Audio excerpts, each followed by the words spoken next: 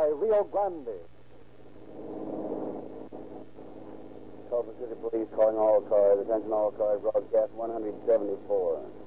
Investigate an explosion and fire at 753 Overland Avenue. That's all.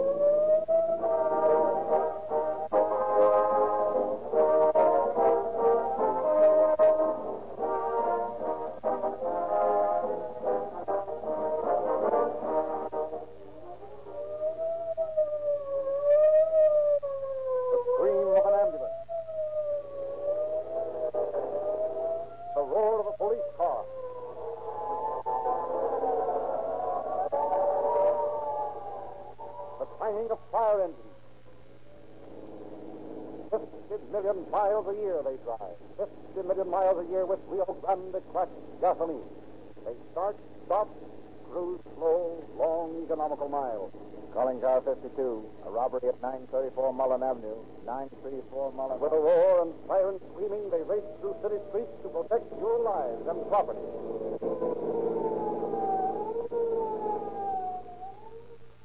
Rio Grande is pardonably proud of the distinguished service rendered only by cracked gasoline in powering more police cars, fire engines, ambulances, and other emergency equipment wherever it is sold than any other brand. No other test for gasoline compares with this yearly 50 million mile record. It is the most conclusive, convincing proof of quality ever presented to Western Motors. The exclusive Sinclair refining process is responsible for the difference between Rio Grande cracked gasoline and ordinary brands. For in the West, only Rio Grande can use this process. Why use old fashioned, sluggish gasoline? Profit from the exhaustive tests of government engineers. See your Rio Grande dealer tomorrow. Specify Rio Grande cracked gasoline for your own car and get police car performance.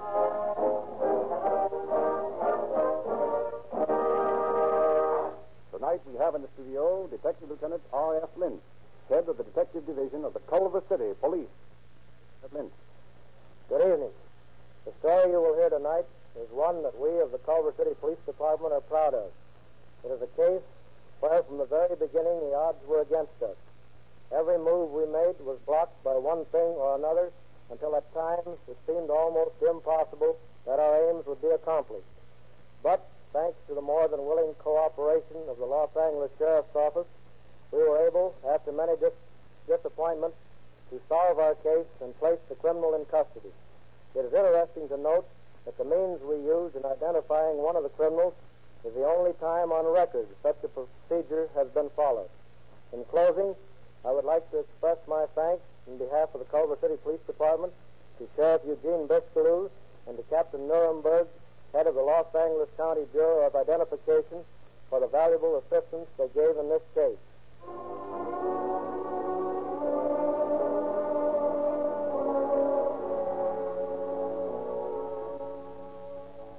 December 9th, 1928. Shortly before 10 p.m.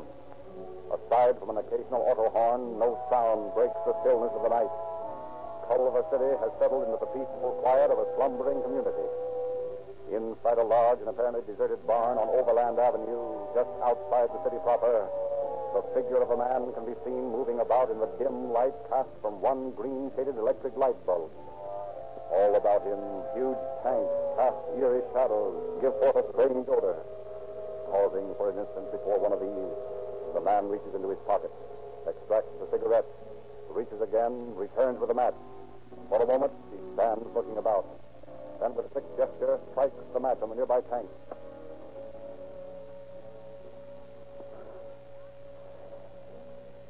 His cigarette lit. Another quick gesture sends the smoldering match sailing across the room to land in a maze of winding copper pipes where it lies sputtering feebly, slowly dying out. Then suddenly it comes to life again with renewed vigor, seems to gain strength. Ignites a thin trickle of liquid that runs from a leak in one of the grotesque looking tanks.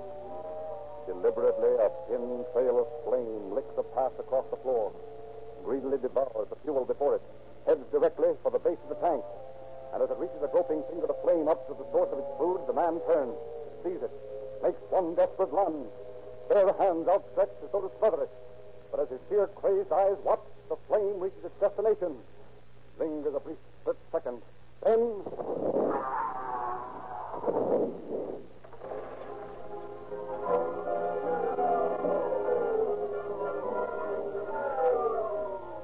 for miles around, hearing the ground shaking explosion, rush from their homes.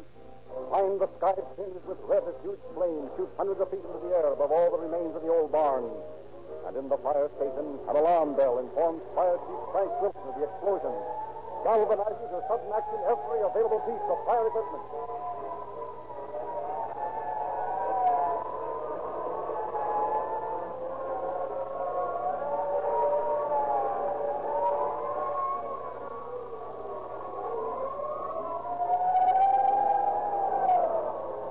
Responding also to the alarm is Captain Detective R.F. Lynch, accompanied by several officers from the Culver City Police Department. There you make it, Chief. Earl still explosion, Luke. Some hundreds of gallons of alcohol in there, stored in tanks. Don't plenty left. I heard someone screaming in there, officer, just after the explosion. I heard it. sure of that? Yeah, yeah, I know it was someone screaming. There couldn't be any mistake about it. It was awful. Not much chance of anybody being alive inside that furnace. Well, looks like a clear space there. The fire hasn't reached yet. Might get in if we hurry. Come on, let's go. Right. Look, over there by that tank that's burning. Well, looks like a man, all right. Burned or crisp. This burning tank of alcohol's going to let go in a minute and spill all over him. Come on, we've got to get him. You can't do it, Lynch. That place is all set to blow. If we don't get that fellow out of there now, how am I supposed to know who he was? That alcohol will demolish him. Come on, one of you grab that rope there, and we'll see if we can drag him out. I got it. That tank starts spilling, somebody yell and loud. They're taking a big chance, Lynch. Yeah, come on.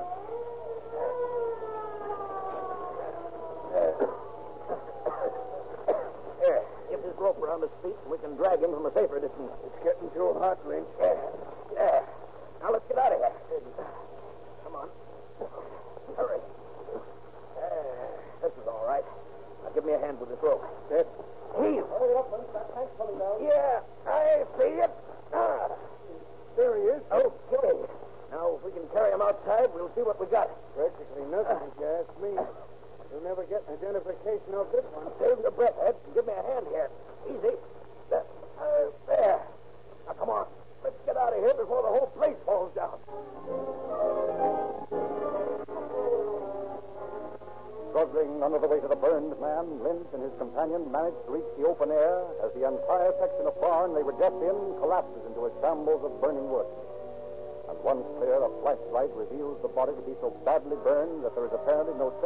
Clue as to its identity. I told you we were wasting our time in there. How are you going to find out who this fellow was when there's nothing left of him? Well, frankly, I don't know. Hold that flash here while I look him over. Okay. Yeah. No chance of anybody recognizing him by his face, that's certain. Uh. No clothing left. Hey, bring that flash down here a little closer, will you? Yeah, ah, that's got it. What's up? Huh. Looks like a tattoo mark here on the back of his arm. You see here where it isn't burnt? See, what does it say? Manila. P.I. 1919. It's a great help. Better than nothing at all. Maybe. Hello, Lynch. What's going on here? Oh, hello, Cecil. Little still blew up. Made ashes out of this bird. Yeah? I just got in on the train in time to hear the excitement. Go about here as fast as I could. Well, I've been trying to get an identification on him, but so far the only thing I've got is this tattoo mark. Manila P.I. 1919. Probably an ex-sailor or soldier. What's the reason for wanting an identification so badly? Mainly the fact that I'd like to get a line on the bunch who ran this still. I've been trying to find it for months. Now that I have, the only person who might be able to tell me anything is Brento Chris. Well, might as well call the wagon and take him into the morgue. Not much we can do out here till this fire's over. Yeah. If Wilson doesn't get it under control soon, there's not going to be enough left of it to bother looking through. Oh, well, come on. Let's phone for the wagon. I'm getting tired of this noise.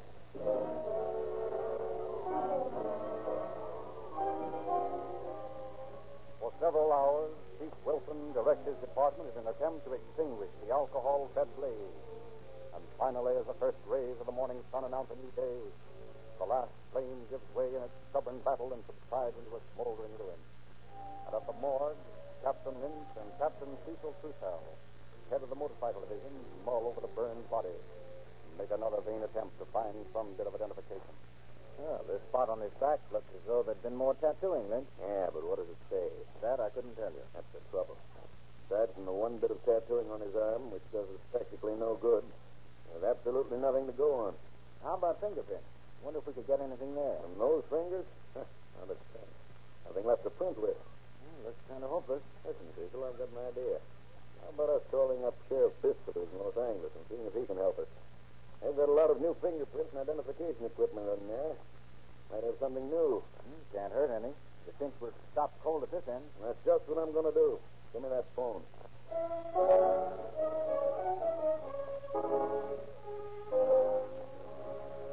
Thus, in response to Lynch's call, Captain Nuremberg of the Identification Bureau drives to Culver City, pulls up in front of the morgue, and once inside, he meets Lynch in Trussell.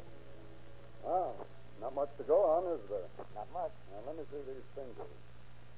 Hmm, no chance of a print. Yeah, that's what we figured. There's one small chance, though, that we can try. Something I've never done before. Hmm? What's that? Attempt to restore the skin of the fingers to normal by soaking them in alcohol and powdering them. Think it might work? I can't say definitely. I know that it's just possible. But it will be experimental completely. Well, for me, I say let's try it. If it works, we're ahead. If it doesn't, what do we lost?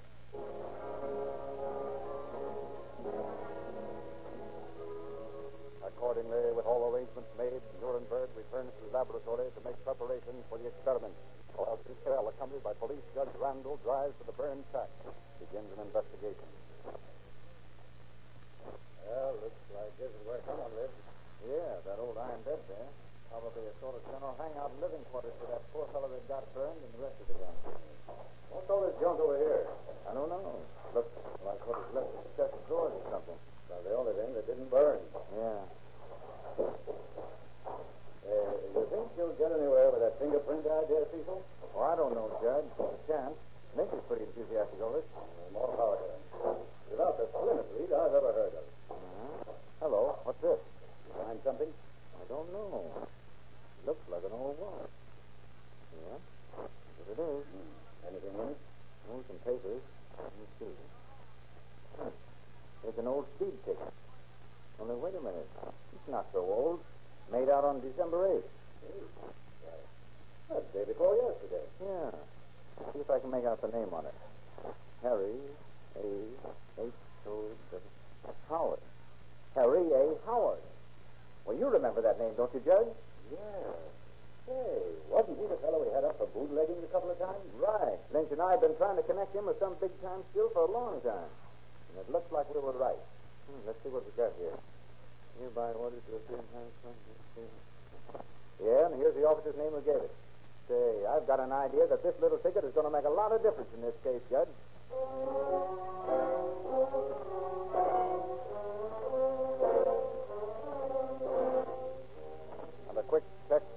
Angeles traffic officer proves conclusively that the Howard on the traffic ticket and the Howard Trussell knows are one and the same man. With this knowledge, Trussell hurries back to Culver City, and informs Lynch of his discovery. Then the two officers settle down to await the arrival of Nuremberg and the start of their identification experiment. And at 10 the next morning, after a sleepless night, they greet the fingerprint expert and hurry to the morgue. How are you going about this thing, Nuremberg? Well, the first thing we've got to do is strip the skin from the fingertips, and we've got to be careful doing it, too. That's the first place we can go wrong. What do we do with it when we get it? Soak it in alcohol for three days.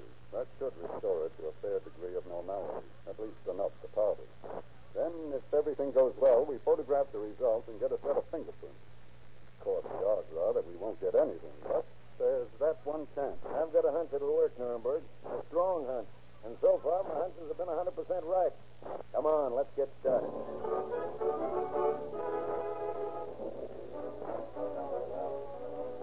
So, throughout the morning, Nuremberg worked like some skilled surgeon, carefully removing the tarred skin from the thick fingertips, delicately placing them in a container of alcohol to soak.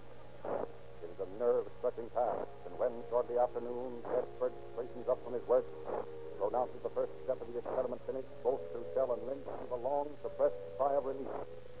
So far, so good. And now, with three long days to wait, Lynch and Trussell pick up the former thread of evidence. Start a manhunt for the man behind the still, Harry A. Howard. But first, they make another search of the burned still. Discover a metal waste paper container buried under a pile of charred embers. In it, they find several scraps of torn paper. Someone to get rid of some love letters or something. Yeah, only these scraps aren't letters. Look more like receipts. Look more like receipts. Look more like receipts. Look more like receipts. We're on the right track. Now all we've got to do is to find Howard and pin it on him. He won't have a leg to stand.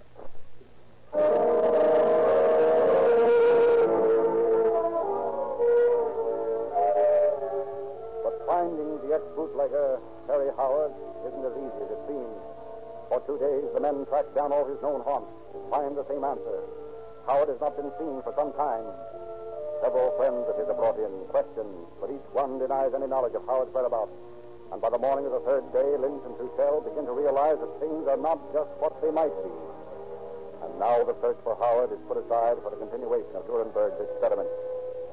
In his laboratory in Los Angeles, Lynch and Truchell watch anxiously as the scientist begins the second step, powdering the now thoroughly soaked fingertips. You see here how the skin has turned white, resumed its appearance of human skin rather than parchment. Yeah, I can tell what it is, all right. Now, the next thing is to make the tiny indentations or lines stand out. You see, unlike the usual method of fingerprinting, that is, rolling the fingers in ink and then getting an impression from pressure on a pad, we've got to photograph these tiny pieces. Naturally, the way they are, there's no contrast. Everything looks white. So we take this dark powder preparation, so, and dust it into the crevices. Yeah. Then we blow off the excess. And there you see a perfect fingertip. By George, Nuremberg, you've got something there. I hope so. Well, what now? Photograph? That's right. This lens is specially constructed to take sharp close-up pictures of small objects. Now, I'm going to set this glove-like fingertip on the end of this pencil. Uh, So, and set it up here with this light on it. Uh, Like this. You mean you're going to have to set each one up like that and take a picture? That's right. Slow, but if it works,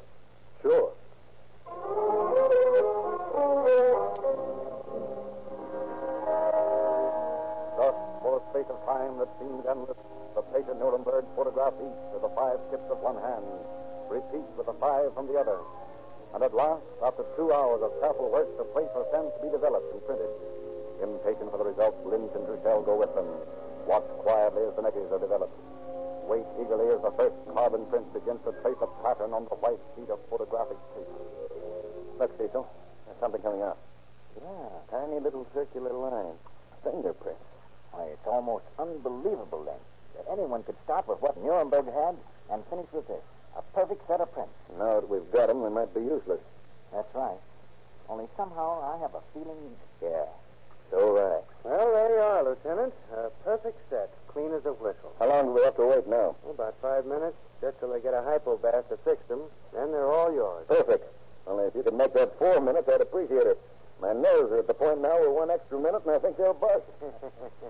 okay, Lieutenant. I'll see what I can do. Can't have any busted nerves lying around here. No room for 'em in a dark room.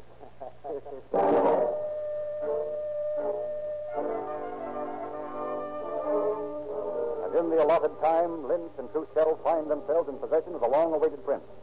Immediately, they start the first move towards an identification, that of checking with the files in the Los Angeles Sheriff's Fingerprint Bureau. Also, a copy of the prints with a description of the tattoo marks found on the dead man's arm is sent to the War Department with a request for information regarding same. And in a short time, their search of the files comes to an abrupt end as a card bearing the name James C. Duane. And an identical set, set of fingerprints comes to light. Every classification is identical. Under the name, there's a line which reads, held for San Francisco police in connection with diamond theft. Obviously, the dead man is no other than one James C. Duane, ex-diamond thief. Then, two days later, word comes from the War Department via teletype. Regarding your request for information, fingerprints and general description, that of one Dennis James Curtis, enlisted in the United States Navy from San Francisco, April 16, 1919. Discharged May 1920 for bad conduct. Home address given as 3420 San Jose Avenue, Alameda, California. Respectfully, George A. Holmes, Commander in Charge of Naval Personnel, Washington, D.C.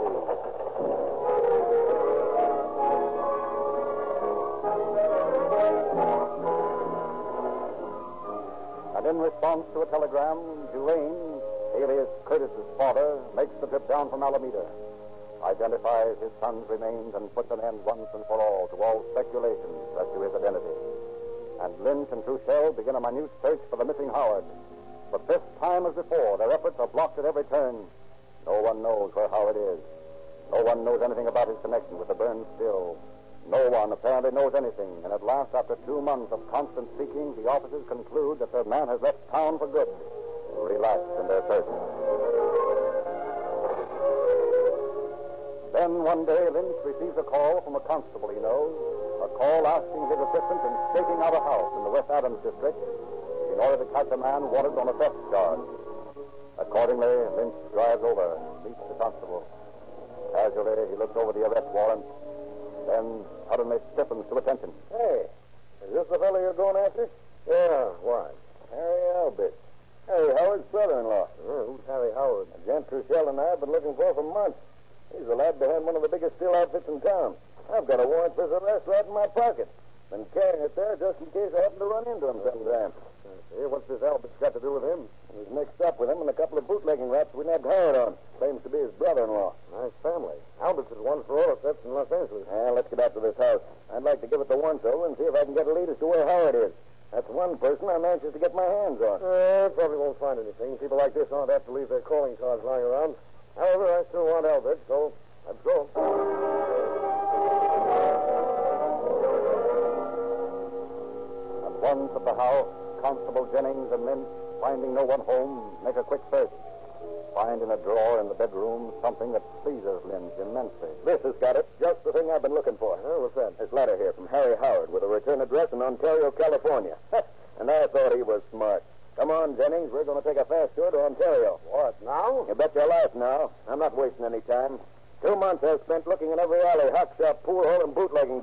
And now it looks as though maybe I've found him. Come on. Next stop, Ontario.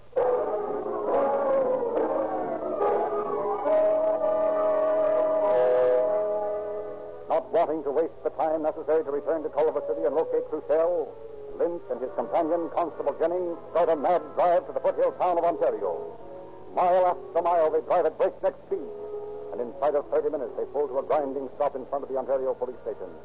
A brief stop there, long enough to enlist the aid of a local officer, and they resume the journey. This time, stopping down the street from a small white house bearing the address found on the letter.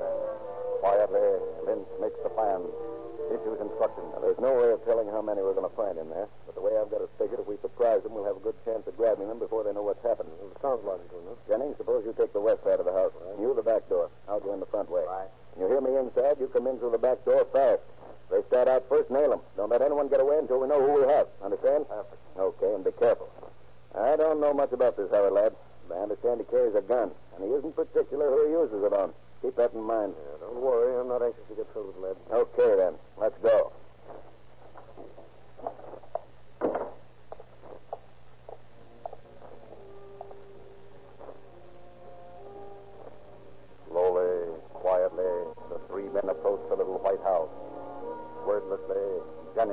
His position at the side, under the windows. The Ontario officer at the back door. Then, with all in readiness, Lynch eases up the front steps onto the porch. Quietly tries the door, finds it locked.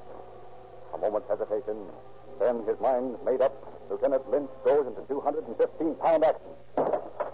Here we are. All of it. House is surrounded. Take you. Round up these people, Denny. I'm going after Howard. All right, all of you, keep away from those shotguns or you get hurt. Come on, you can go in those shotguns. come on to that room, Howard. All right, I will. All right, Howard, drop that gun. Not. I said drop that gun. Lay off me, you big flatfoot. I'm playing games, and I will. Lay on you. Uh, uh, ready to go with me now, Howard? you haven't got anything on me. No? Well, take a look at this warrant. I've been carrying it for about two months now, just waiting for this moment. We know all about you. Got your autograph on a couple of pieces of paper that are good for about 10 or 15 years in the pen. What do you think of that? I think you're nuts. That's all right, too. Only think this over. We know you're the gent behind the still that blew up. We know that because we found your signature all over those tail slips. I thought if we can find it. Come on, Howard. That did it. Let you and I talk it over on the way back to jail. Ah, all right. I'll talk. And I'll tell you some things that'll surprise you, too. Things that'll surprise you plenty.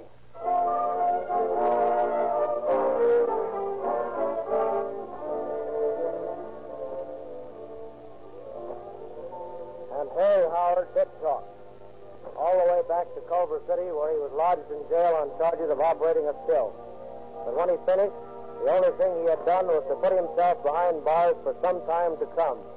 Thus, through the combination of the elements of chance, patience, and science, what might have turned out to be an unsolved case ended with the criminal in jail and our records marked solved. Thank you, Lieutenant Lynch.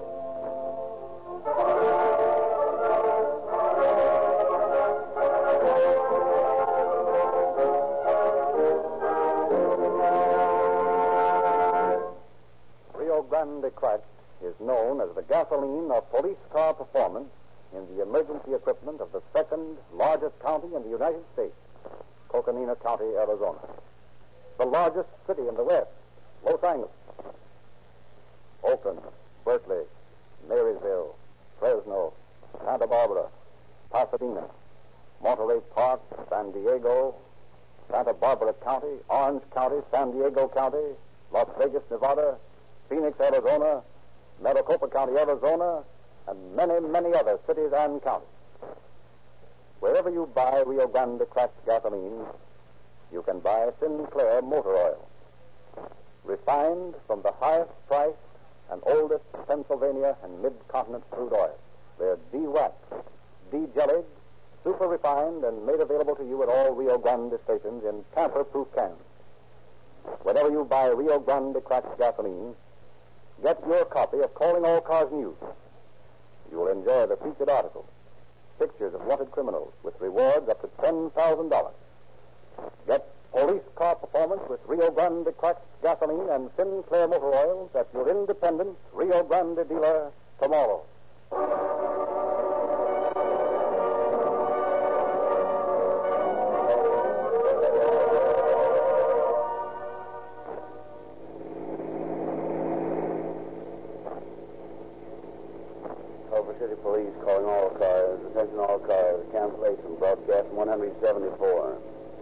Regarding an explosion and fire. The suspect is now in custody. That's all.